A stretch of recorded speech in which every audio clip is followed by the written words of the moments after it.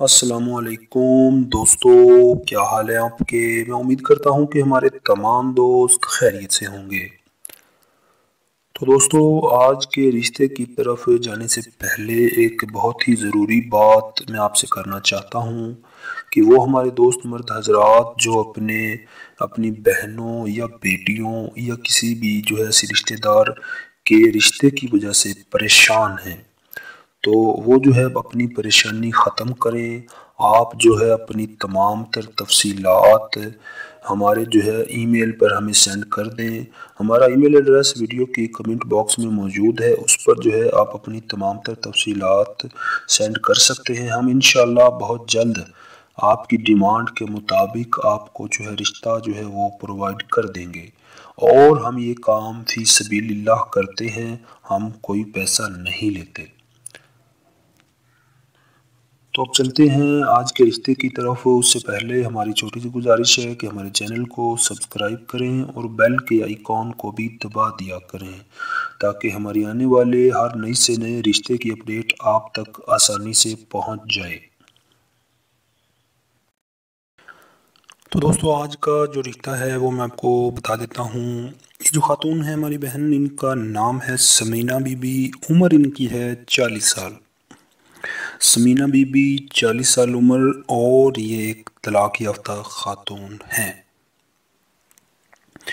ہاں، تعلیم جو ہے وہ ان کی جو ہے میٹرک ہے۔ اس کے علاوہ چار سال ہو گئے ہیں طلاق ہوئے۔ ایک بیٹی، دو بیٹے، تین بچے ہیں۔ تینوں پہلے شوہر کے پاس رہتے ہیں۔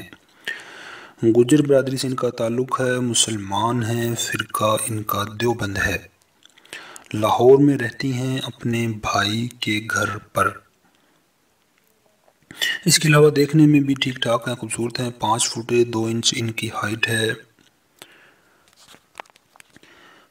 پانچ بہن بھائی ہیں یہ۔ تین بہنیں، دو بھائی تمام شادی شدہ ہیں۔ ان کا نمبر تیسرا ہے۔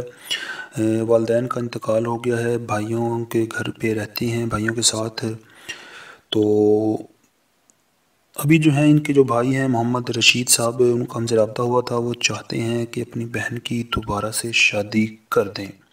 تاکہ یہ بھی اپنے گھر کی ہو جائے اور ہنسی خوشی اپنی زندگی گزار سکے۔ تو یہاں میں آپ کو بتاتا چلوں، برائے مہربانی وہی لوگ اس رشتے کے لیے رابطہ کر سکتے ہیں جن کی عمر جو ہے وہ پینتالیس سال سے زیادہ نہ ہو، پہلی دوسری شادی کرنا چاہتے ہوں۔